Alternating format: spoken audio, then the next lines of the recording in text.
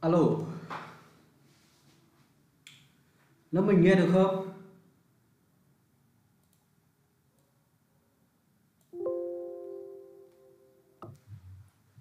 Các bạn nghe được không nhỉ? Các bạn nhận được cái database mà anh gửi chưa?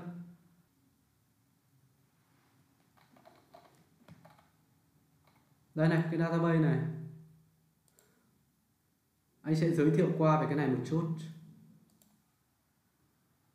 Trước khi chúng ta start và chúng ta sẽ uh, dùng cái database này để thực hành luôn.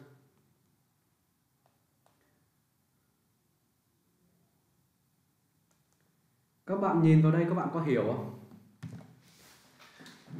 Có hiểu cái database này dành cho hệ thống nào không? Lớp vào đủ chưa nhỉ? Có vẻ vẫn thiếu một hai người đấy.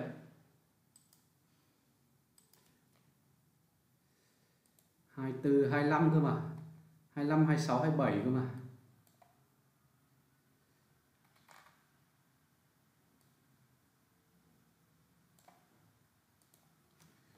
Rồi ok, anh sẽ đầu tiên chúng ta sẽ nói về cái database này. Nhìn tổng thể một cái nhá. Đó. Đây cũng chính là cái project mà anh sẽ uh, quit chuẩn đấy. Đây cũng chính là cái project mà anh sẽ cùng lớp mình đi thực hiện trong suốt cái khóa học này. Ok chưa? Đơn giản này thôi nhưng mà nhiều việc lắm. Và làm cái này thì nó đỡ bị nhàm chán đỡ nhàm chán hơn so với việc các bạn làm một cái trang bán hàng đó. Thì anh giới thiệu qua một chút nhá. Các bạn có hết database chưa? Nhìn được qua màn hình rồi đúng không? Ok. Anh sẽ nói qua cái database này nhá. Đúng rồi đấy. Đây chính là cái database dành cho một hệ thống. Một hệ thống về quiz. Về quiz. Nó là kiểu dạng thi trắc nghiệm ấy. Ok chưa? Cho phép thi trắc nghiệm ví dụ như các bạn học bằng lái xe các thứ là các bạn uh, các bạn sẽ phải thi lý thuyết thì bằng trắc nghiệm. Và hầu hết các uh, các các các môn thi đại học bây giờ cũng đều chuyển sang trắc nghiệm rồi kể cả môn văn. Đó. Nên chúng ta xây dựng cái hệ thống này cũng khá phù hợp đấy. Hệ thống này nó bao gồm những gì? Thì để mà làm chỉnh chu hơn ấy, tức là chi tiết hơn thì nó sẽ có nhiều bảng hơn thế này. Và mỗi bảng nó sẽ nhiều giữ nhiều cột hơn cái này. Tuy nhiên thì để làm một cái chương trình test ở mức chúng ta có thể test được kiểu như test tiếng Anh tiếng Nhật các thứ thì với cái này thì đủ đủ để chúng ta làm rồi. Và cái thứ hai nữa là hệ thống này nó sẽ có một cái đó là nó cho phép nó cho phép người dùng xem lại cái kết quả test của mình xem lại cái kết quả sau khi test. Ok chưa? Thì đây cũng chính là cái project mà chúng ta sẽ làm trong cái khóa học này nhé trong khóa Laravel View này. Và phần backend chúng ta cũng build bằng View. Phần frontend chúng ta cũng sẽ sử dụng Vue.js để chúng ta build. Và Laravel viết API thì phần DB này anh sẽ ứng dụng nó cho đến khi mà chúng ta kết thúc khóa học này. Đó, và ứng dụng tạo migration seed data rồi là tạo ra những cái bài toán đơn giản để chúng ta học về query builder các thứ, giúp các bạn hiểu hiểu hơn về thằng query builder và vận dụng nó vào trong cái project này như thế nào. Ok chưa? Thì cái cấu trúc của nó và liên kết các bảng thì nó sẽ như thế này. Các bạn có nhìn thấy không? Liên kết các bảng thì nó sẽ như thế này. Thì anh chỉ giải thích qua một chút thôi, bảng câu hỏi mấy câu trả lời thì chắc chắn là sẽ phải có rồi ừ, ở đây của anh anh bị nhầm một chút này cái topic ID này nó sẽ chính là thằng exam exam ID này. Thì anh giải thích qua một chút nhé cái exam này là gì? Cái exam này có nghĩa là một cái đề thi. Thì nó chỉ có tên đề thi thôi. Ok chưa? Đó. Ai không hiểu thì hỏi luôn nhá. Thì một đề thi thì nó sẽ có nhiều câu hỏi. Được chưa? một câu hỏi thì nó có nhiều câu trả lời. Và một câu hỏi một câu hỏi thì nó có thể sử dụng sử dụng đi, sử dụng lại cho nhiều đề thi.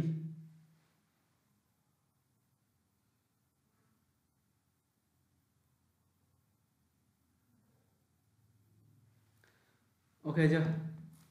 Thì chính vì một câu hỏi sử dụng cho nhiều đề thi nên anh có cái bảng trung gian là exam question này. Đây một câu hỏi này này có thể dùng cho nhiều đề thi. Và một đề thi có thể dùng cho nhiều à, có thể sử dụng lại nhiều câu hỏi khác nhau. Ok chưa? Tí nữa anh gửi link chưa Ui rồi đó. Và phần quan hệ giữa câu hỏi với câu trả lời thì nó là quan hệ một nhiều có nghĩa là một câu hỏi có nhiều câu trả lời là ok rồi này. Quan hệ giữa cái đề thi là exam này với câu hỏi nó sẽ là quan hệ nhiều nhiều. Đây. Và phần result này, phần result cái mà các bạn đang nhìn thấy ở đây này. Đây này. Thì cái phần này nó là cái phần để thể hiện cái kết quả của một người khi mà vào thi. Đó. Thì một người khi vào thi thì nó sẽ bao gồm những thông tin gì các bạn? Nó sẽ bao gồm thông tin là người đó thi cái đề nào. Ok chưa?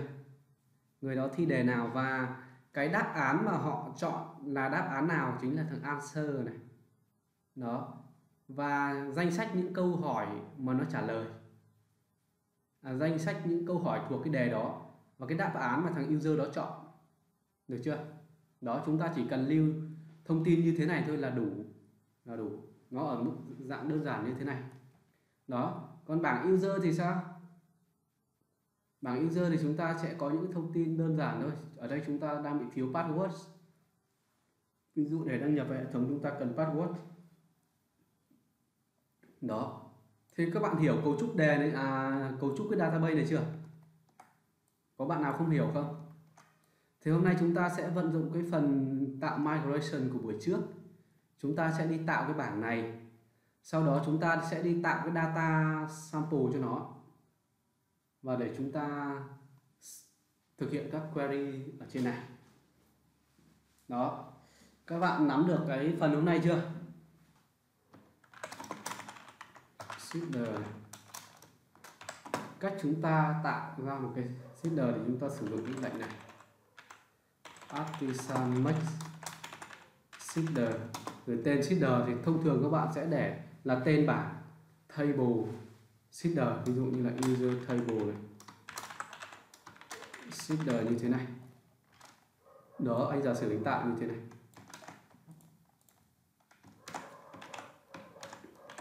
Đây. thì anh sẽ tạo ra cái user table seeder. Nó sẽ như thế này. Sau khi tạo xong thì các bạn sẽ thấy là nó sẽ nằm ở trong đây. Đây. Ok chưa? Đó. Và để chạy một cái seeder, mình tạo ra file seeder rồi, thì chúng ta cần phải chạy nó, đúng không? Để chạy thì các bạn sẽ sử dụng cái lệnh này. Chạy thì các bạn sẽ sử dụng là psp artisan. Db sys như thế này. Đây. Thì bản chất khi chạy thì nó sẽ chạy. Khi một cái seeder được chạy nó sẽ chạy vào cái hàm run này. Thì thằng uh, seeder này không có khái niệm rollback có nghĩa là nó chỉ có put vào thôi chứ không xóa đi. Nên là chúng ta muốn xóa chúng ta sẽ phải xử lý code. Đó anh sẽ test một cái để các bạn thấy là nó sẽ chạy vào đây methods đó. Nếu mà bây giờ cứ thế anh chạy thì điều gì xảy ra? Đây. 2 chấm xít. Các bạn nhìn này. Nếu mà anh chạy cái này, các bạn thấy là à chưa có gì cả. Đúng không? Message thì vẫn cứ báo là success thôi nhưng mà chưa có gì. Bởi vì sao?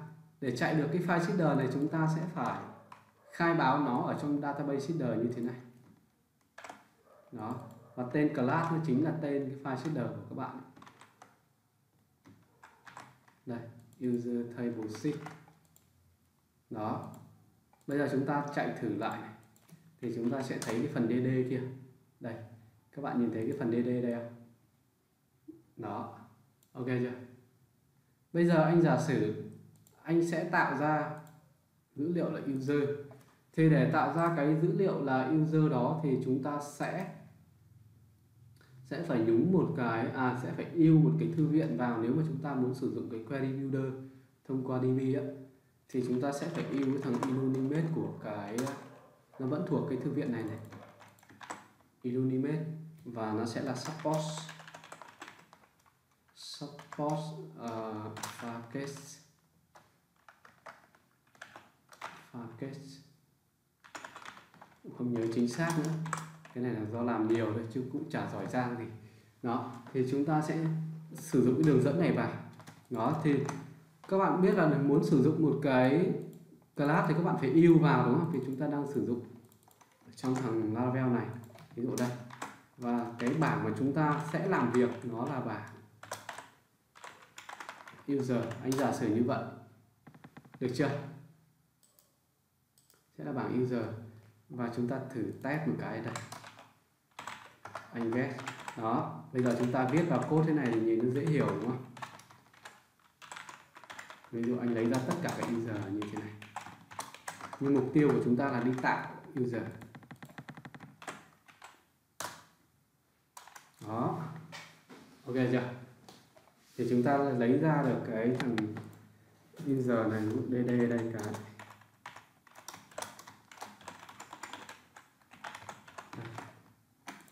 đây đây là đó, chúng ta lấy ra được user này.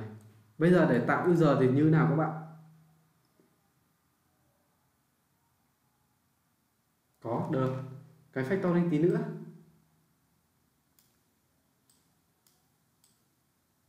Anh đang muốn nói về thằng query builder. Các bạn không cần thằng query builder. Nếu mà dùng relation factory thì sẽ gần như không cần query builder. Bởi vì là nếu mà nói dùng thằng uh, à, relation và factory á, thì chúng ta sẽ gọi thẳng model đây luôn. Ừ. anh sẽ nói thằng này nhá. Anh sẽ nói về thằng thằng à, uh, model luôn. Bởi vì sao? Các hàm của nó rồi rồi anh sẽ có cách để cho các bạn hiểu. Anh sẽ có cách nói để cho các bạn hiểu được cả hai luôn. Đây thì đây là cách để các bạn có thể làm việc với một bảng trong ờ, thằng Laravel thông qua thằng DB Query Builder này thì nó cho phép chúng ta thực hiện các việc như là select này, uh, join này, where, group by này, tất cả những thứ mà thằng MySQL nó cho phép chúng ta làm thì thằng này cũng làm được. Where, join, group by này, ờ, delete này, update. Đó. Thì nó sẽ làm được hết. Và thậm chí là subquery nữa. Subquery thì nó sẽ làm được hết các bạn nhé. Ok chưa? Nó sẽ làm được hết. Và thằng model nó cũng tương tự như vậy. Model nó cũng cho phép chúng ta thực hiện hết tất cả những việc như này. Đó và các phương thức nó cũng giống như thằng query builder. Ví dụ anh dùng model ví dụ ở đây anh muốn dùng model thì anh sẽ phải yêu cái model của chúng ta vào. Là nằm trong thư mục app này model này có s và user. Đây được chưa? Thế đối với thằng model ấy, cách dùng của nó nó ngắn gọn hơn. Nó chỉ cần viết là user 2.get như thế này đó. Thì ở đây các bạn có thể nhìn vào đây, các bạn suy ra được cách dùng cả hai thằng luôn. Đó là nó chỉ khác nhau ở chỗ là đối với thằng DB Query Builder thì nó sẽ phải chỉ định là nó sẽ làm việc với bảng nào. Đây, được chưa? Đó. Còn đối với thằng model thì mặc định model này là chúng ta biết là nó đang làm việc với bảng nào rồi. Đó, còn các phương thức phía sau này thì là giống nhau hết các bạn hiểu chứ? Đây, cũng tương tự như vậy. Anh có user này. Có add này anh comment cái này lại. Anh dd cái này ra. Này. Ui xùi best. Đây, các bạn thấy này. Nhưng mà các bạn nhìn thấy này. Thì các bạn nhìn thấy hai cái object này khác nhau hoàn toàn. Các bạn nhìn thấy cái object của thằng model này đó, nó rất là khủng khiếp. Đó, connect database rồi là các thứ rồi là relation này. Đây finable các thứ. Thế nên là dùng thằng ORM chắc chắn là nó sẽ nặng hơn nhé nó sẽ nặng hơn thằng DB query rất là nhiều. Query builder rất là nhiều. Ok chưa? Đó, ví dụ, anh nói về cái cách dùng rồi. Ví dụ anh que như thế này. Ở đây chúng ta có thể dùng que như thế này dùng first như thế này, thì thằng này nó sẽ là first như thế này. Đó anh comment thằng này thì anh sẽ lấy ra được cái user first đây, đơn giản như thế này. Ok chưa? Còn khi mà chúng ta dùng với cái không phải query builder là user này first thì các bạn so sánh hai cái object của nó này. Đó. Được chưa?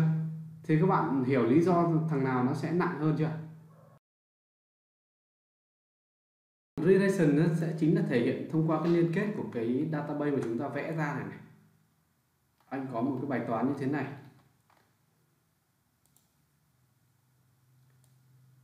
bây giờ anh sẽ tạo ra một cái bảng ghi cho phần question anh sẽ viết, viết tạm luôn đây đã anh có question này.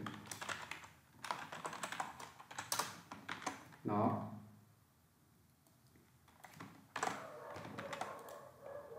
thì cái question của anh anh thêm một bản ghi vào trong bảng question.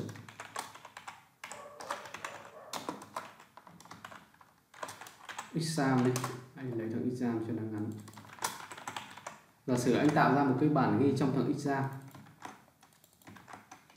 thì thằng exam của chúng ta nó sẽ có name, chỉ có name thôi.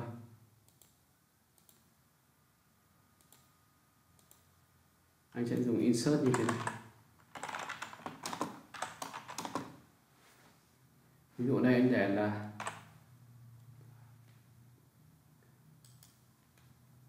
đề thi môn gì đó, lớp gì đó, kiểu kiểu như vậy.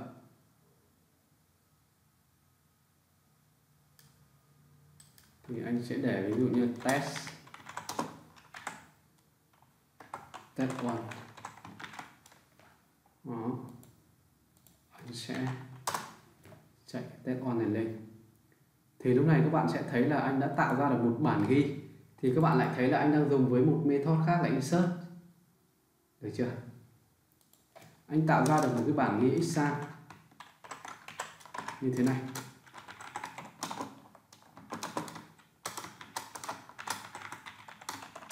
On có nghĩa là lấy ra tất cả các bản ghi.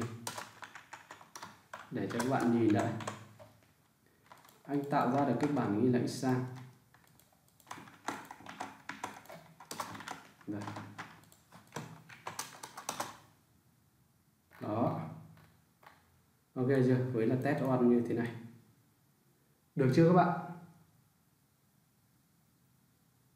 Insert thì sẽ không phụ thuộc vào finable. Thì finable không có ý nghĩa đối với thằng insert. Đó. Bây giờ, anh dùng thêm question. Có nghĩa là gì?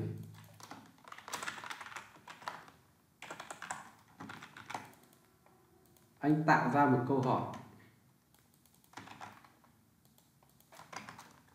Với thằng question.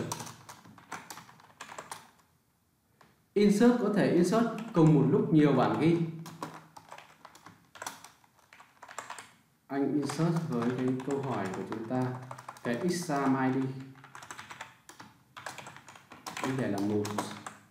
Như thế này. Anh đang tạo dữ liệu để mà anh nói về cái relation nhé và anh sẽ có question. À content, có nghĩa là nội dung của câu hỏi. Anh sẽ để ví dụ như là question 1 anh chạy nó lên sau đó thì ở dưới này anh sẽ đồng thời anh lấy ra được cái question.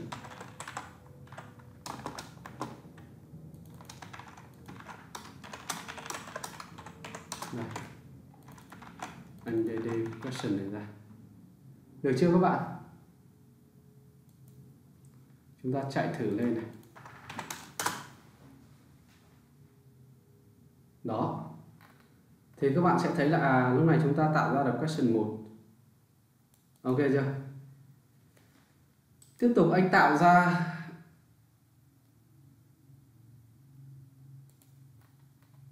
answer.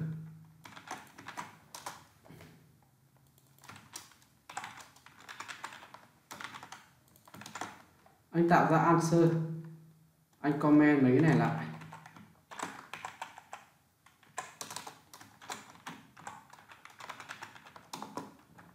Thì anh sẽ answer của chúng ta anh sẽ insert với cái name. À, question ID anh truyền vào nó là một. Được chưa?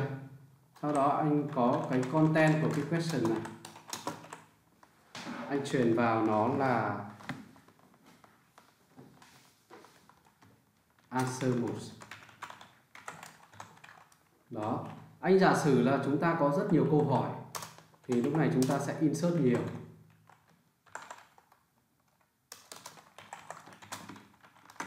Một câu hỏi thì có rất nhiều câu trả lời chứ, sorry các bạn. Thì anh sẽ có rất nhiều câu trả lời. Giả sử anh có bốn câu trả lời.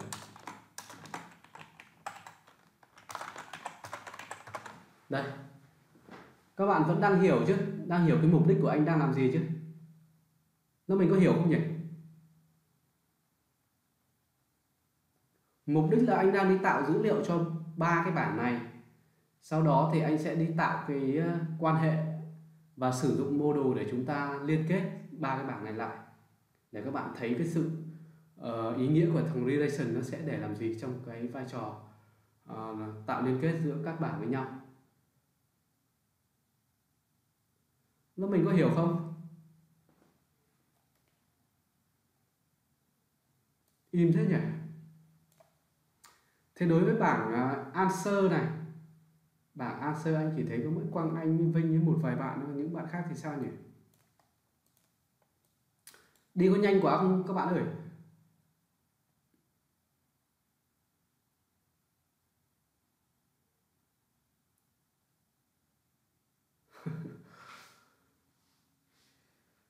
Rồi, thì bảng answer này của chúng ta anh sẽ thêm cả cột này vào nữa. Thì đúng ra lúc nãy chúng ta default chúng ta sẽ phải để là phô, Để là phô như thế này này, anh sẽ để nhé. Tức là bình thường thì mặc định sẽ là phô thì các bạn đỡ mệt, đỡ phải thêm vào.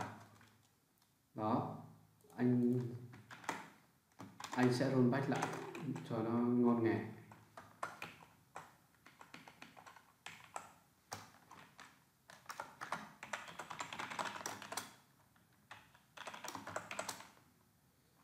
À, mà rollback mất hết dữ liệu.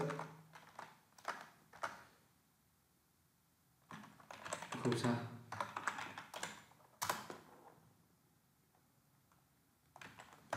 Đó tạo lại được ngay vì đang trong seeder rồi.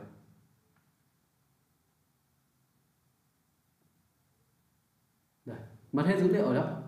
Bây giờ quay trở lại cái seeder này anh sẽ insert cái exam này anh insert cái question này đó, có ngay á thì chúng ta sẽ tạo ra được cái exam và question 1 này id default nó sẽ là một. Thì anh sẽ có cái correct ở đây. Thì anh giả sử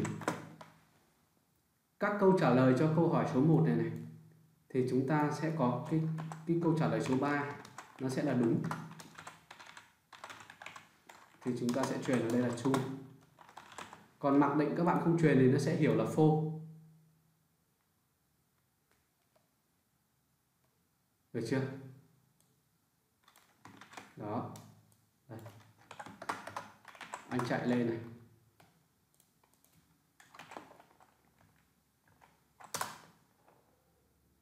Lỗi gì đây này?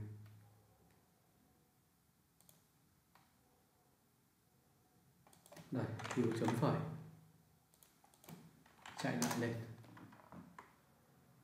Ừ.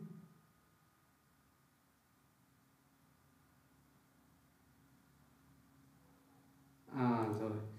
Mà khi insert để chu ở đây thì chúng ta lại phải giống nhau hết. Khổ thế. Phô phô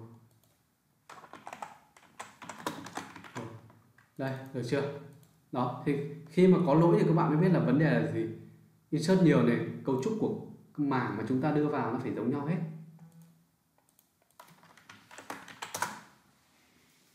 Đó. Ok chưa?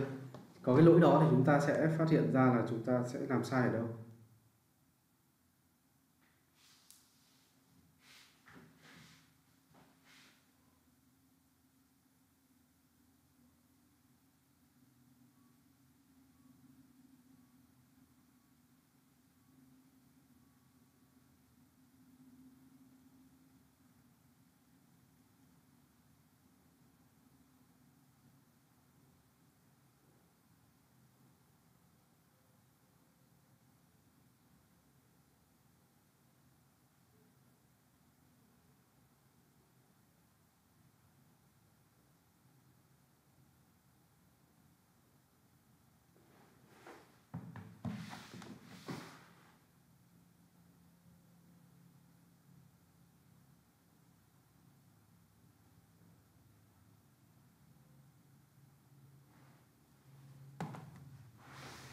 Rồi ok nhé thì ok chúng ta đã tạo ra được cái dữ liệu này rồi này. Các bạn nhìn thấy chưa? Bây giờ anh sẽ sử dụng cái tin cơ để anh sẽ demo về cái quan hệ dữ liệu giữa những cái thằng này. Đó thì bản chất của nó sẽ như thế này. Bản chất của thằng relation ấy, nó là như thế này. Nói thế này nó sẽ hơi bị nửa vời nhưng thôi rồi. Trong quá trình chúng ta làm dự án anh sẽ nói thêm nữa đây, ví dụ anh có thằng question là thằng exam này.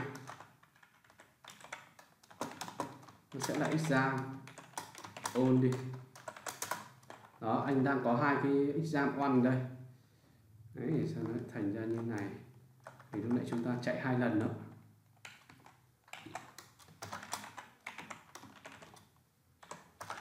anh update cái thằng thứ hai lát nhìn cho đỡ bị nhầm cái name thứ hai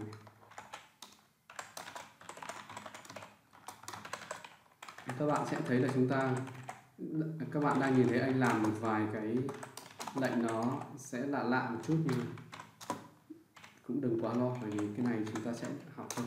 Đây. thì lúc này chúng ta sẽ nhìn thấy cái cái exam này. Chúng ta có hai cái. Đây, như thế này. Và chúng ta cũng đang có hai câu trả lời. Đây, ok chưa? Anh cũng sẽ update cho câu trả lời.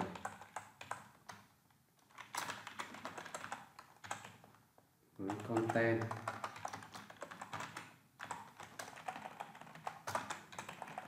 Là question two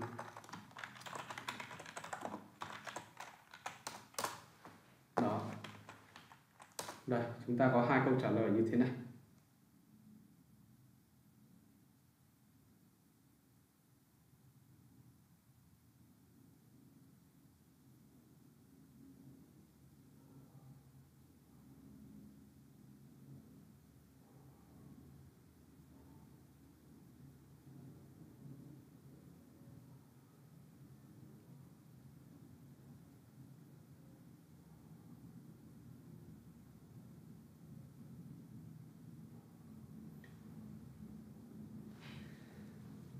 Đây.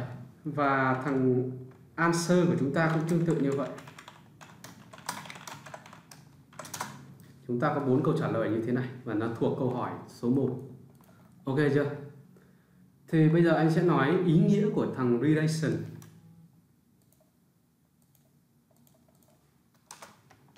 Ý nghĩa của thằng này. À, khi mà các bạn học về Laravel ấy, thì các bạn sẽ thấy rất ấn tượng về cái thằng relation này. Nó nằm ở trong cái khái niệm là ORM của thằng Laravel. Đó, các bạn sẽ rất ấn tượng bởi vì sao? Nó giúp cho các bạn lấy dữ liệu của các bảng với nhau và lấy liên kết data ở các bảng với nhau nó sẽ nhanh hơn rất là nhiều. Nhanh. Và các bạn cảm thấy là các bạn làm nó nhàn hơn rất là nhiều. Đó. Làm hơn rất là nhiều. Tại sao lại vậy? Tại vì thằng Laravel nó đã xử lý hết cho các bạn rồi. Laravel nó xử lý hết rồi nên là các bạn làm cảm thấy nó sẽ là nhàn. Nhưng về mặt hệ thống đây là anh giới thiệu qua nhé. Về mặt hệ thống thì cái relation này này nó sẽ làm cho hệ thống chậm. Nó làm cho hệ thống chậm chậm đi rất là nhiều. Đó. Thì um, người ta nói là khi mà chúng ta cốt càng nhàn ấy thì hệ thống càng chậm là như vậy. Bởi vì thằng Laravel nó đang làm sẵn cho chúng ta mọi thứ rồi. Thế nên là khi mà chúng ta cốt thì chúng ta cảm thấy rất là nhàn, nhưng mà chính vì nó làm mọi thứ đấy, nên là nó có những cái nhược điểm nhất định. Và hệ thống nó sẽ bị chậm. Thì bản chất của thằng Laravel nó sinh ra cái relation này, giúp chúng ta giải quyết vấn đề gì? Thì bây giờ anh lấy ví dụ. Anh lấy ví dụ. Anh giả sử anh có một, anh lấy dữ liệu ví dụ xem chi tiết một cái một cái ờ, question đi. Đúng không? Trong thực tế chúng ta hay gặp cái bài toán này, đúng không? Question first. Đó, chúng ta vào trang chi tiết của một cái question, một câu hỏi. Đó, được chưa? Thì vấn đề của chúng ta là chúng ta cần lấy ra danh sách những câu trả lời của cái câu hỏi này một cách dễ dàng. Đúng không thì bình thường các bạn sẽ phải nếu mà làm MySQL thông thường ấy, các bạn sẽ phải làm gì? Các bạn ít nhất các bạn sẽ phải uh, query hai lần. Đúng không một là các bạn select để lấy ra cái question này sau đó thì các bạn sẽ select một câu nữa vào bảng answer theo cái điều kiện là ID của question bằng cái gì đó để các bạn lấy ra cái, lấy ra cái cái ờ, answer tương ứng của cái question đó. Và tương tự với thằng exam cũng như vậy. Ví dụ, anh có một cái exam này. Đó. Bây giờ anh muốn biết là thằng exam này của anh đang có bao nhiêu, đang có bao nhiêu cái câu hỏi thuộc cái đề này. Thì anh, bình thường, thì anh muốn là làm đơn giản như thế này. Exam anh trở đến question. Thì để anh biết được là à thằng thằng exam này đang có bao nhiêu câu hỏi. Kiểu như vậy. Đó. Thì thằng Laravel cung cấp cho chúng ta cái cách để chúng ta có thể tạo ra được cái sự liên kết giữa thằng exam với thằng question như thế này. Đó, bình thường các bạn viết như này thì sẽ không có. Mặc dù là thằng exam một của chúng ta nó đang có một câu hỏi đây này, đây này. câu hỏi một đang có exam là một đây. Ok chưa? Đó. Thì đầu tiên anh sẽ nói đến cái quan hệ giữa thằng exam thằng exam với thằng question ở đây là quan hệ bao nhiêu các bạn? Nó là quan hệ một nhiều như thế này. Ok chưa? Nó là quan hệ một nhiều thì để thể hiện quan hệ một nhiều này thì chúng ta dùng đối với thằng một đứng ở thằng một thì chúng ta sẽ dùng has many. Khi đứng ở bên thằng một nhé. Được chưa? Đứng ở bên thằng một đứng đứng ở bên thằng một là cái gì? Có nghĩa là gì? Đứng ở bên mô đồ mô đồ của thằng một ấy, thằng quan hệ một ấy, thì chúng ta sẽ để là head menu anh viết cụ thể này ra cho các bạn hiểu. Đây, ở trong mô đồ của cái thằng mang quan hệ là một này. Đây, thằng exam đang là một. Question. Đang là nhiều như thế này. Thì ở bên này nó sẽ mang cái là below to được chưa? Cách dùng nữa đây là cách dùng thôi nhé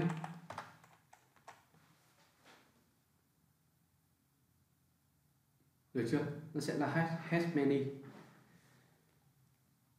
đây chúng ta sẽ sẽ nói về nó như thế này.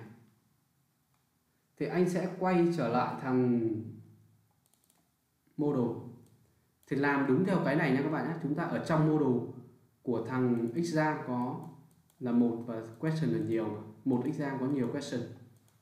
Thì chúng ta sẽ vào module thằng exam chúng ta sẽ đặt một cái phương thức, public function, có tên là question, có s như thế này. Được chưa? Thể hiện là à từ đây tôi muốn lấy ra nhiều cái question từ cái module này. Được chưa? Thì tôi sẽ ừ, lấy như thế này. Zip trở đến hash many hash many và tên class của chúng ta sẽ là tên class là chính là lấy ra nhiều question thì đây sẽ là class sẽ là question. Class như thế này. Được chưa các bạn? Đó. Và quay trở lại cái thằng thằng nhiều chính là thằng question. Thì chúng ta sẽ lấy ra là à từ một cái question này, thì chúng ta sẽ xác định được là nó thuộc một cái exam nào. Thì chúng ta viết như thế này, function exam và nó là dạng số ít vì là một question này chỉ thuộc một exam được chưa? Một question chỉ thuộc một exam hình như chúng ta đang làm sai, quan hệ chúng ta đang là nhiều nhiều. Tạm thời như thế thì, ok. Thế thì anh sẽ nói với thằng sorry các bạn. Chúng ta đang thiết kế là thằng question với exam của chúng ta đang là quan hệ nhiều nhiều, đúng không? Đây này, anh sẽ nói thằng question với answer trước đi.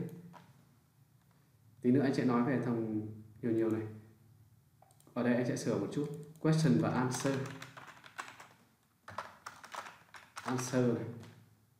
Thì lúc này sẽ là một question thì có nhiều câu trả lời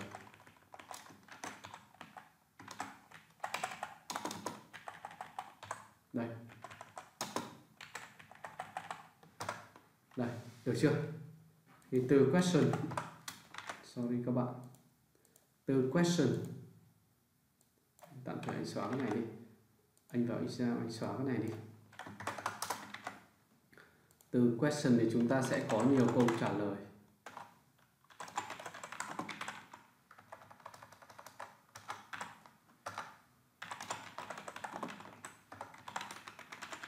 Có s như thế này và class của chúng ta, anh sẽ return. Class return ở đây sẽ là zip trở đến hash many được chưa? Và sẽ là answer class như thế này. Ok chưa? Đó. Và bên thằng answer thì một câu trả lời chỉ thuộc một câu hỏi thôi. Thì chúng ta sẽ thể hiện nó thông qua belong to. Có nghĩa là chỉ thuộc một. Đó. Thì đây anh sẽ để là question. Số ít, có nghĩa là một câu hỏi. Đây. Anh sẽ return zip trở đến belong to là question. Đó.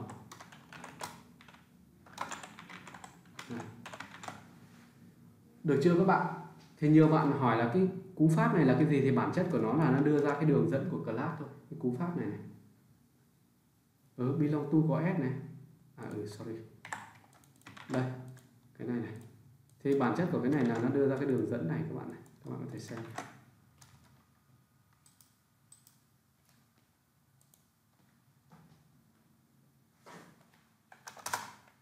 đây kiểu như vậy không có gì cả. Được chưa? Đó. Thì quay trở lại đây. Thưa s à ừ, xong các bạn viết nó bị đảo. Thì bây giờ anh sẽ quay trở lại cái tin cơ này. Chúng ta đang nói quan hệ giữa thằng question và answer. Ví dụ anh có một cái biến question.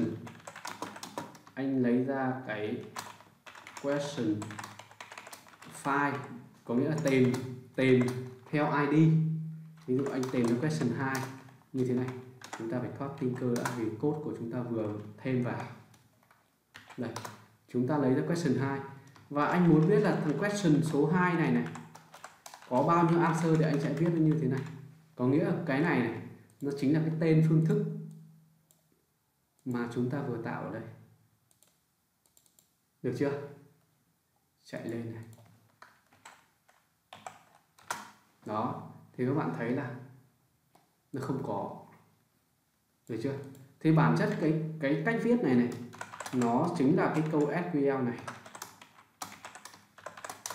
Đây. Đây nó thằng Laravel nó xử lý cho chúng ta và nó, theo logic của nó để nó truy vấn vào trong database theo đúng câu query này có nghĩa là lấy từ bảng answer với điều kiện là cái question ID bằng bao nhiêu. Đó. Và question ID nó phải khác năm kiểu vậy. Được chưa? Thì nó sẽ lấy ra. Đây. Thì trường hợp này đối với question số 2 thì không có cái câu trả lời nào. Nhưng question số 1 của chúng ta này, thì chúng ta sẽ thấy là nó sẽ có đây. Đó. Ok chưa?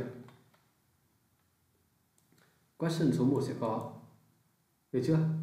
Thế để làm được cái việc này này, để làm được cái việc này này, từ question trỏ đến answer này, chính là công việc của chúng ta vừa làm đây. Chúng ta đi tạo liên kết. Bản chất của việc tạo liên kết là chúng ta tạo ra cái method này, với cái phương thức mà thằng Laravel nó cung cấp cho chúng ta. Đây là hash many để chúng ta tạo. Được chưa? Và cái tên của cái method này do chúng ta đặt nhé các bạn nhé. Do chúng ta đặt. Đó. Và khi mà nó liên kết như thế này á các bạn thấy là question trở đến answer thì mặc định nó tương đương với hàm get này, này. cái cách viết này này nó tương đương với hàm get get này này. Đó. Và khi mà các bạn viết là answer như thế này ạ mặc định nó sẽ lấy ghét ra tất cả những cái answer có ID bằng một như này. Và chúng ta hoàn toàn có thể query tiếp.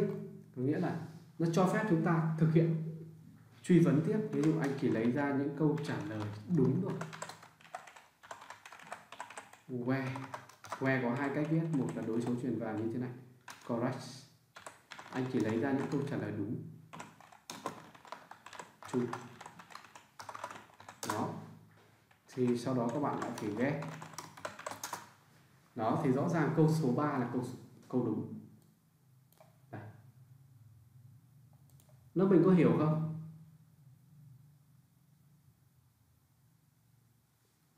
Thì câu số 3 này là câu đúng. Và sau cái này này, sau cái method relation này này, thì các bạn có thể thực hiện bất kỳ câu truy vấn nào ở đây. Ví dụ như update, delete hay là where joy đều được, thì đấy là cái cái à, tính chất của nó, tính chất của thằng ORM này. Ok chưa? Laravel thì nó có liên quan gì đâu nhỉ? Tiếp nhé ok, thì đây là quan hệ một một nhiều. Vậy thì anh đứng từ answer anh đứng từ bảng answer anh muốn xác định là ví dụ anh có answer như thế này. Thì các bạn nhìn thế này các bạn thấy là khi các bạn viết code ấy, các bạn đỡ phải làm rất là nhiều đúng không? Lấy ra được cái question lấy luôn ra được cả cái ờ, danh sách các câu trả lời luôn. Rất là nhàn. Chả phải code mấy. Quy định method ở trong mô đồ cái xong rồi trỏ đến cái là dùng thôi thì đó, thì đấy là những cái tiện lợi mà thằng Laravel nó mang lại. Ví dụ, đối với answer thì sao? Ví dụ, answer anh lấy ra cái xem ôn trước đi. Đây danh sách các answer này. Được chưa? Đây, chúng ta có bốn answer. Đây.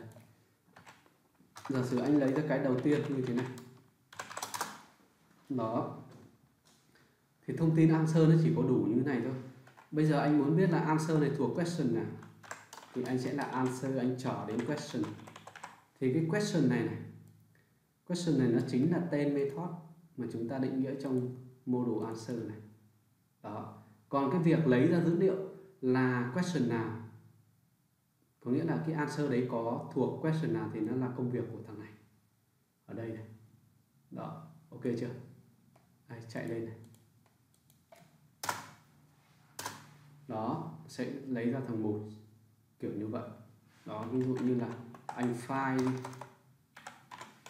thằng số 3 chính là câu trả lời đúng thì xem question của nó là gì?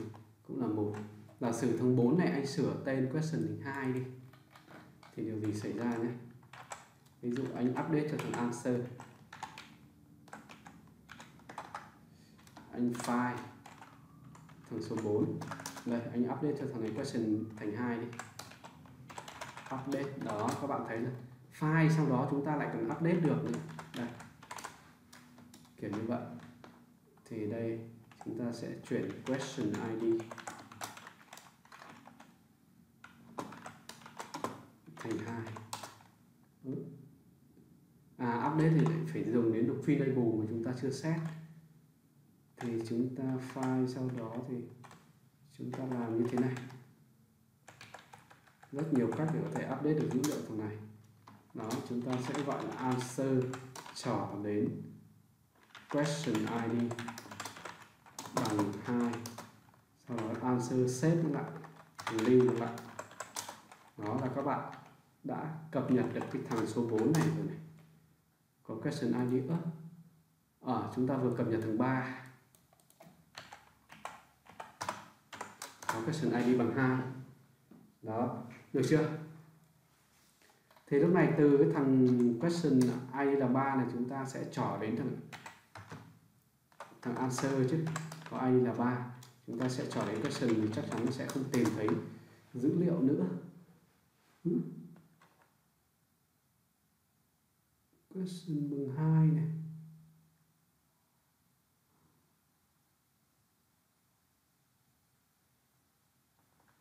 Từ từ. Answer bằng 3 này.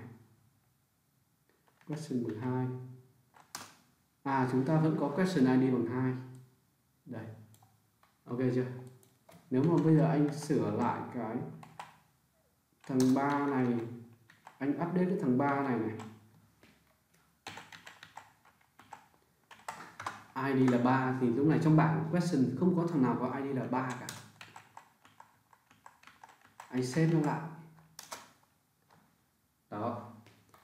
Anh quay lại anh mở à, anh anh truy vấn anh lấy ra thằng question answer bằng 3 sau đó từ thằng answer này đây nha các bạn nhé question bằng 3 này. Anh trỏ đến question.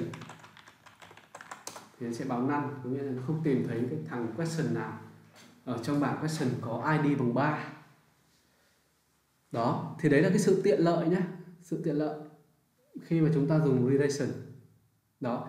Thì đây là hai cái trường hợp cơ bản nhất mà chúng ta hay gặp. Có nghĩa là gì? Quan hệ của nó nó là ở mức ở dạng đơn giản là một nhiều nhiều một. Đó. Bây giờ quay trở lại cái thằng này. Đấy các bạn thấy là định làm à, seeder data mà nói sang relation thì không nói nó gãy góc thì sẽ hơi khó mà nói gãy góc là sẽ lại mất thời gian. Đây thì chúng ta sẽ quay trở lại thằng này.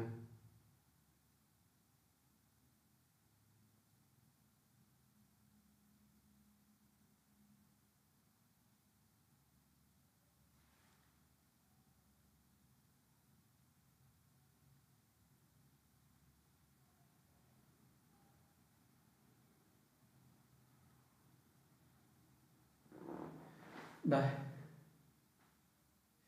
chờ một chút.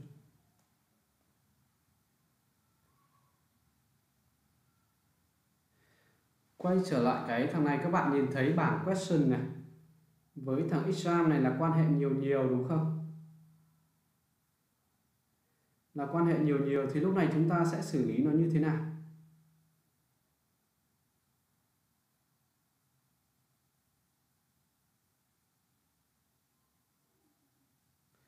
Thì chúng ta sẽ xử lý à, nó như sau. Bởi vì là trong à, trong trong thằng à,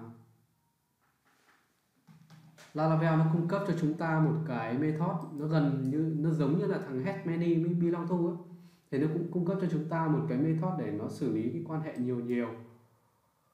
Ờ, trong Laravel nó là belong to many đó nó sẽ như thế này. Cách viết thì nó đơn giản lắm đây bây giờ anh sẽ nói đến thằng exam thì anh sẽ để như thế này để các bạn hiểu đã. đây, trường hợp đối với thằng exam đúng không? Model exam và model question. Question đúng không? Nó là quan hệ như thế nào các bạn? Nó là quan hệ nhiều nhiều anh viết n này có nghĩa là để thể hiện cái nhiều nhiều ạ. Được chưa? Nó là quan hệ nhiều nhiều. Thì trong mô đồ chúng ta sẽ làm như sau. Đứng ở mô đồ ra, các bạn sẽ sử dụng cho anh cái thằng này.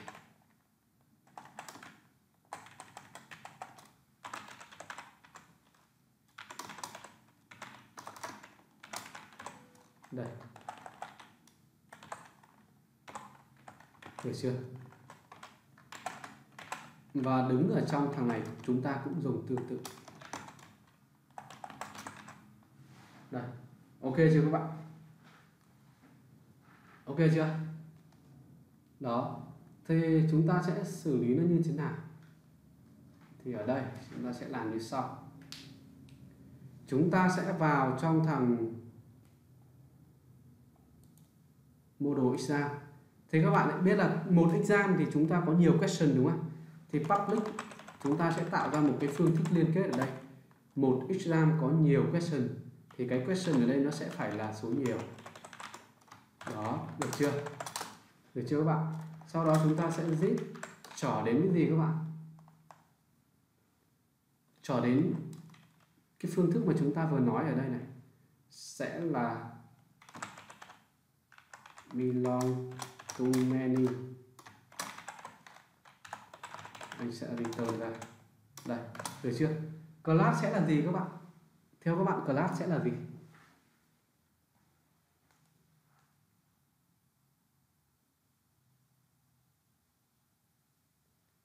Class là gì nhỉ?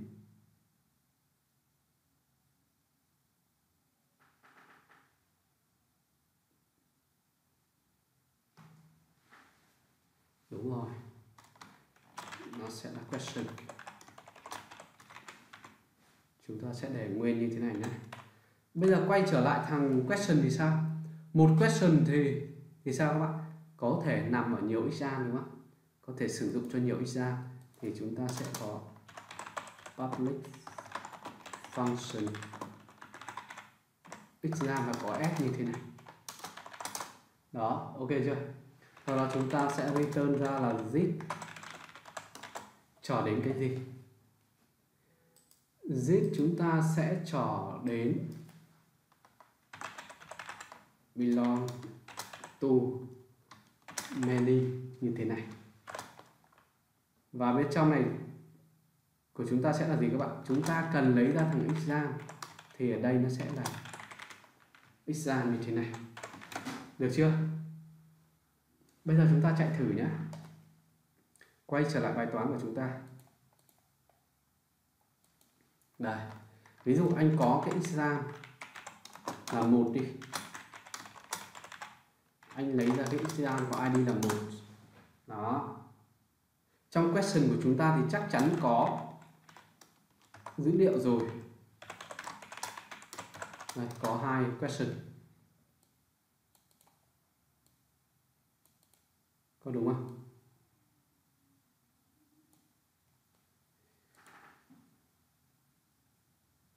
Ồ oh, các bạn ơi. Lớp mình ơi.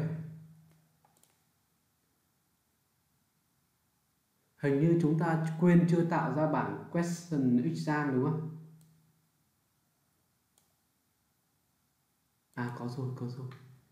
Có rồi sorry các bạn nhưng mà chúng ta đang bị sai ở một chỗ, các bạn biết là gì không? Bảng question này, chúng ta không cần cái cột này.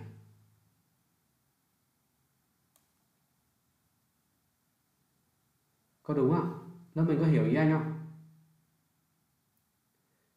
Đây này. Thiết kế thì đúng rồi, nhưng mà lúc làm chúng ta đang làm sai.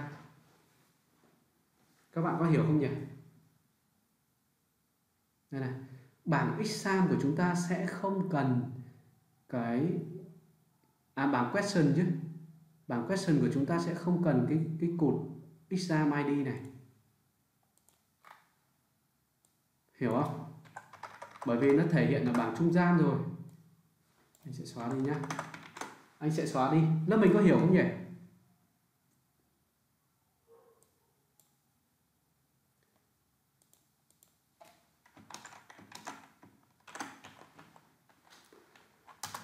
Làm sai và không ai phát hiện ra.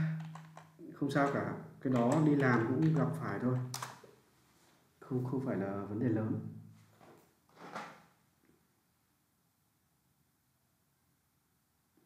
Rồi. Ok, chạy sys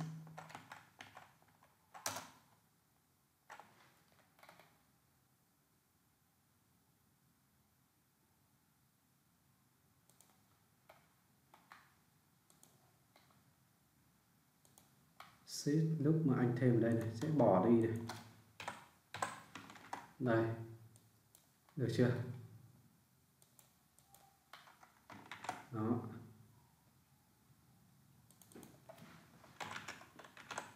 Đây.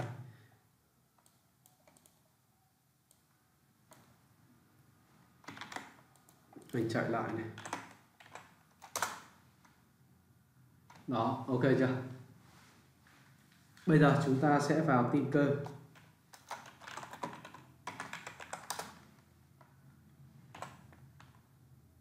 Chúng ta xem à chúng ta có exam 1 chúng ta xem question của chúng ta.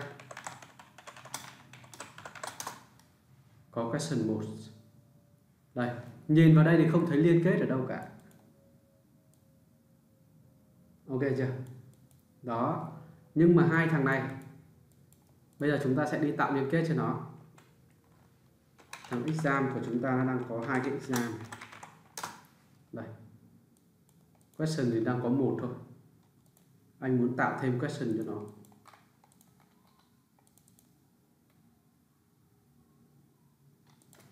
Anh tạo comment ở đây.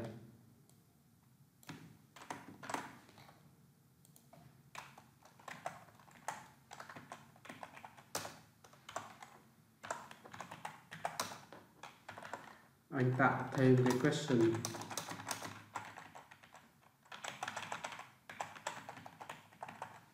Hai, ba, bốn và năm. Như thế này.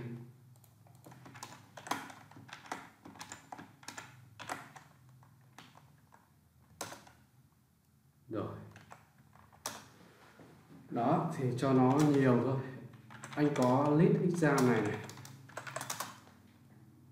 đó và anh có link danh sách question này. Bây giờ anh giả sử anh tạo liên kết cho nó. Anh sẽ tạo liên kết, đó là ví dụ anh có exam 1 thì anh có hai câu hỏi 1 2 đi. Thì chúng ta sẽ phải tạo liên kết vào đâu các bạn? Vào đâu nhỉ?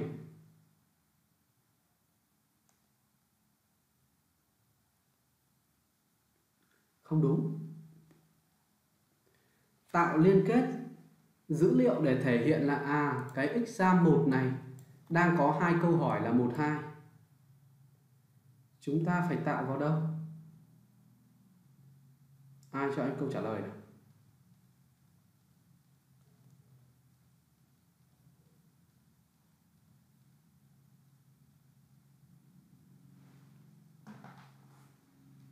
Rồi rồi. Có nghĩa là bây giờ anh đang muốn thể hiện là à cái exam 1 này của anh. Đó, cái đề thi số 1 này có nó sẽ có hai câu hỏi là câu 1 và câu 2 thì có phải là anh sẽ phải thể hiện dữ liệu nó vào trong đây không? Có đúng không? Đây này. Thì anh sẽ insert vào nhá. Bởi vì nếu mà không chúng ta không insert này chúng ta test thử này exam này. Ví dụ anh lấy ra cái exam 1 đây đúng không? Và chúng ta tạo ra cái relation ở trong model rồi. Đây này trong exam này này. Chúng ta tạo ra relation này rồi. Ừ, lại phải thoát tinh cơ rồi vì bây giờ mình lưu. Đây anh lấy ra exam 1 trong model thì anh đã tạo ra cái relation đây rồi. Được chưa? Thì lúc này từ thằng exam 1 anh trỏ đến question này anh trỏ đến question như thế này. Thì các bạn thấy là à nó báo sao đây? Nó không tìm thấy, đầu tiên là chúng ta đang gặp lỗi này. Đang gặp cái lỗi này đó có nghĩa là gì? Nó không tìm thấy cái bảng exam question nào cả.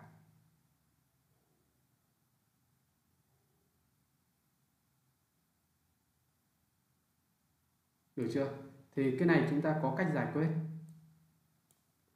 Bởi vì sao? Bởi vì chúng ta đang để cái tên bảng của chúng ta ở đây này, là có s này này, hiểu không? Thì thằng Lavel nó hiểu bảng trung gian sẽ không có s. Được chưa? Xóa đi thôi. Các bạn hiểu vấn đề chưa? Nó tự liên kết được và nó tìm đến cái bảng này, nhưng mà chúng ta đang để thừa s. Đây này. Đó, bảng trung gian có nghĩa là một thằng này. Thì chỉ có một thằng này thôi, không có s. Thực ra là cái này Lavel mới update đấy. Trước là vẫn được trước là vẫn thoải mái. Đây, chạy lại thôi. Rollback đó, thực ra là demo thì nó sẽ có lỗi như này để mọi người cùng hiểu vấn đề. Còn cố gắng làm nó trơn tuột thì có khi là sẽ bị nhiều cái chúng ta sẽ không hiểu được. Đây, anh chạy sheet lại thì đối với trường hợp sheet này, đối với trường hợp sheet data thì anh sẽ thêm dữ liệu cho nó đi, cho nó linh hoạt. Đây, anh sẽ tạo ra nhiều cái exam này.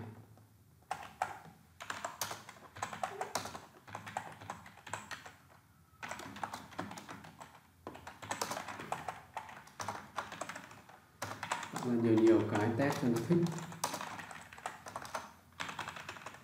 Thì đó. Và câu trả lời. Chúng ta cũng tạo ra. Câu trả lời.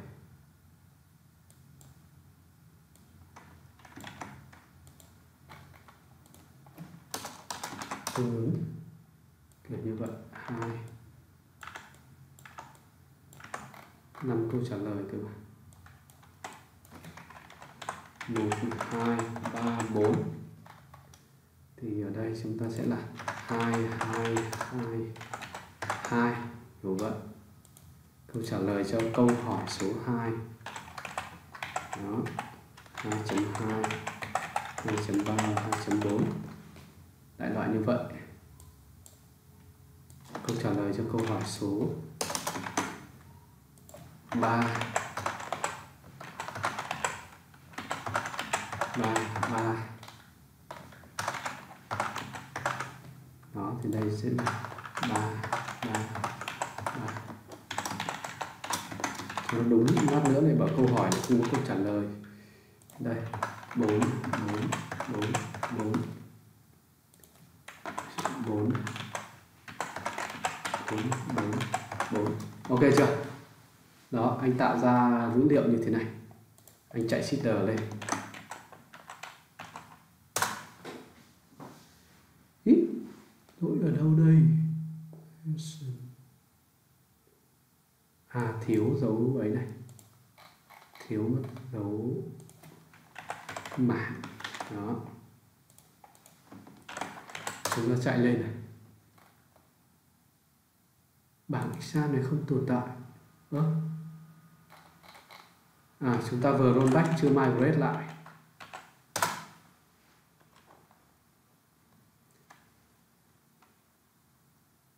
Đó. Bây giờ chúng ta chạy seeder ok chưa? Chúng ta chạy tinker lên. Các bạn thấy là à, anh có lead question này anh có lead ra, quan tâm đến thằng này trước nó được chưa? Bây giờ anh sẽ tạo liên kết cho bảng. À anh sẽ lấy ra một cái exam trước. Exam một trước. Thông qua cái cú pháp tìm cái ID là một như thế này. Đó. Thì từ thử exam này anh muốn xem là à nó đang có bao nhiêu question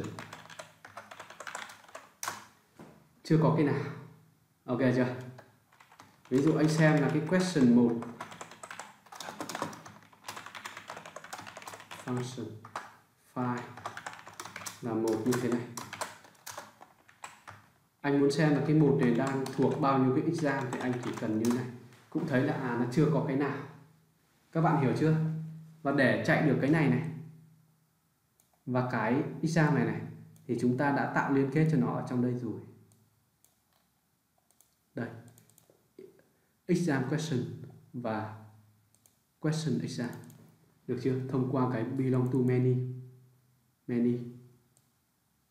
Ok chưa các bạn? Thì lúc này anh muốn tạo liên kết về là cái bảng này của chúng ta cần phải có question ID và exam ID thì anh sẽ insert nó vào như thế này. Vì nó không có mô đồ đúng không chúng ta dùng db table tên là gì các bạn? Table của nó tên là exam question. Đó. Anh sẽ insert. Các bạn dùng create cũng được nhé. Nhưng create thì lại liên quan đến finable. Đó. Anh sẽ insert cụ thể là gì? Question id id anh để là à câu hỏi số nhất, thứ nhất thì nó nằm trong cái đề thứ nhất thì sẽ là exam id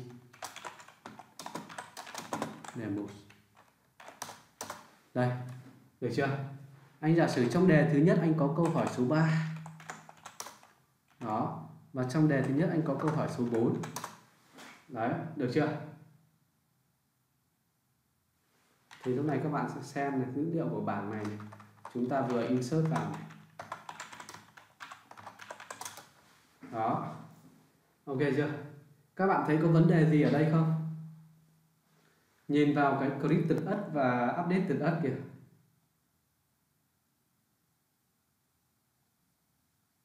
Vấn đề gì các bạn nhỉ? Đó là gì?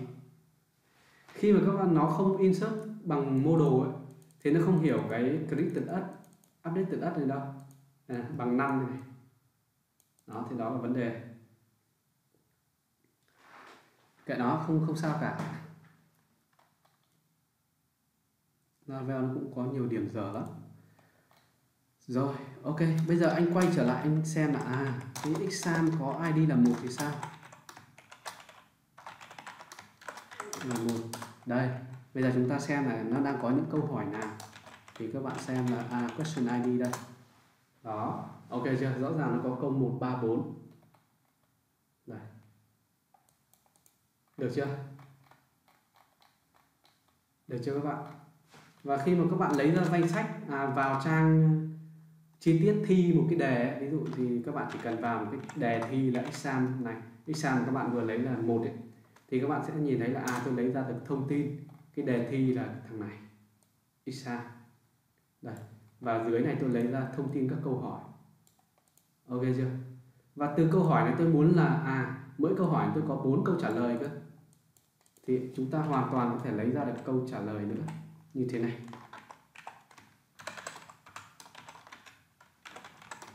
With answer, yes. Đó. Thì các bạn nhìn thấy là à chúng ta lấy ra được một cái mảng rồi chỉ sẵn đủ ra danh sách đây chính là cái mà chúng ta vừa lấy này anh lấy ra được thông tin. Cái đề thi là anh lấy ra thông tin cái đề thi là như thế này. Đề thi này này. Đây, được chưa? Danh sách câu hỏi này này. Và câu trả lời tương ứng. Câu trả lời tương ứng. Đây. Đây, mỗi câu hỏi này này tương ứng với cái câu trả lời. Bốn câu trả lời đây. Đó. Đây, tương tự. Câu hỏi số 3 bốn câu trả lời tương ứng. Đó. Thì các bạn có dữ liệu này, các bạn chỉ đủ ra màn hình thôi. Nó mình có hiểu không? Alo. Thì chúng ta lại không nói được về cái factory rồi. Và tạo dữ liệu thì các bạn hiểu rồi, bởi vì anh đang làm demo ở đây. Thì các bạn cũng đã hiểu được cách tạo dữ liệu với thằng query builder rồi. Thực ra hôm nay chúng ta chưa làm việc được nhiều với query builder. Thì buổi sau đi, để buổi sau đi. Thì buổi sau chúng ta sẽ làm sheet data, nhưng mà anh sẽ giao cho bạn bài tập về nhà là tạo cho anh 1.000 đề thi ok không? Các bạn tạo cho anh 1.000 cái đề thi tức là 1.000 cái exam ấy. Trong mỗi exam thì sẽ có à, 30 câu hỏi. Ngân hàng câu hỏi của chúng ta thì có một triệu câu hỏi đi. Ngân hàng câu hỏi nhé sẽ có một triệu câu hỏi. Để anh đọc đề nhé các bạn về tạo seeder cho anh buổi sau chúng ta sẽ ứng dụng query builder để chúng ta thực hiện các công việc, ví dụ như là anh sẽ nốt vào đây này. buổi sau chúng ta sẽ có data rồi này, có dữ liệu trong database rồi thì chúng ta, anh muốn là chúng ta sẽ nói nhiều về query builder hơn bởi vì nó rất hay dùng các bạn mới học thì sẽ thấy thằng ORM dùng nhiều, nhưng query builder sẽ dùng hơn đấy đây, thì buổi sau anh muốn là chúng ta sẽ thực hành với thằng query builder ấy khi mà có dữ liệu rồi là chúng ta ví dụ như chúng ta lấy ra là những người này những bạn thi nhiều nhất đó những user thi nhiều nhất này đó hoặc là đề đề bài à, đề thi có nhiều người thi nhất. Đó hiểu không? Ừ một triệu. Một triệu, nếu mà các bạn biết cách làm chỉ mấy phút thôi. Insert được vào. Nhưng mà anh vẫn cứ để các bạn làm, tự làm nữa thì các bạn sẽ thấy nó sẽ lâu. Đề thi có nhiều người thi nhất. Hay là câu hỏi này. Không không. Sẽ nghĩ cái khác này. Đề thi có nhiều người thi nhất này những bạn mà thi nhiều nhất. Đó. Và những bạn thi điểm cao nhất. Thi kết quả tốt nhất. Cao nhất. Đó. Lằng ngoằng rồi đấy. Hay là chúng ta lấy ra là à những đề thi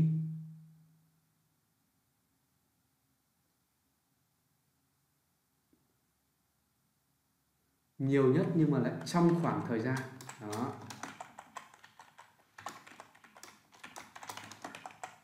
Nhiều nhất. Theo khoảng thời gian. Thời gian. Đó. Tốt danh sách thi. Thi nhiều theo tuần, theo tháng. Đó.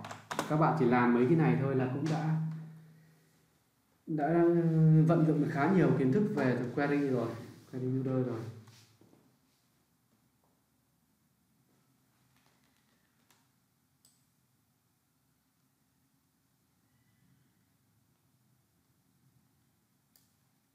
Cái gì đấy ngọc? Rồi. Anh sẽ nghĩ thêm nhé, anh sẽ nghĩ thêm cho buổi sau. Nhưng mà tạm thời như này trước, kiểu kiểu như vậy. Thì bây giờ công việc của các bạn là tạo cho anh cái seeder với đầu bài như thế này. Cái dữ liệu của chúng ta, data mẫu của chúng ta nó sẽ có 1.000 đề thi. Câu hỏi này, ngân hàng câu hỏi. Câu hỏi là một triệu. Đó, thì một triệu câu hỏi đến tương đương với 4.000 câu trả lời đấy. À 4 triệu câu trả lời đấy. Đúng không?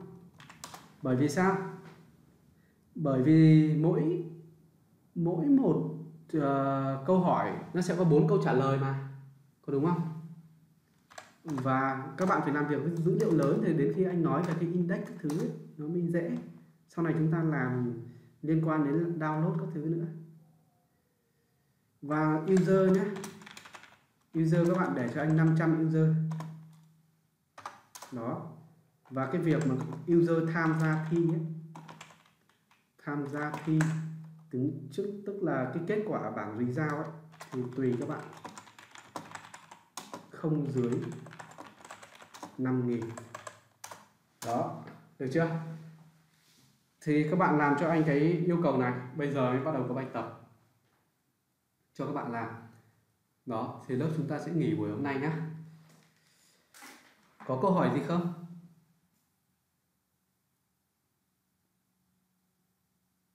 Những bạn khác.